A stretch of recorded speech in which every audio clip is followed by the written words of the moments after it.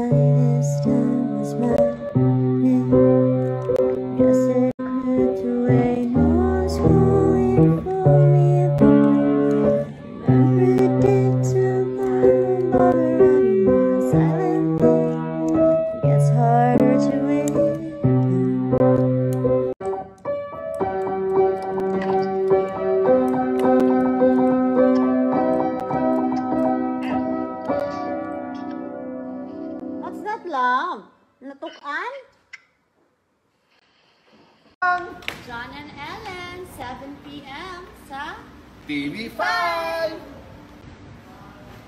Ganda ni Ellen Adarna. Flawless talaga.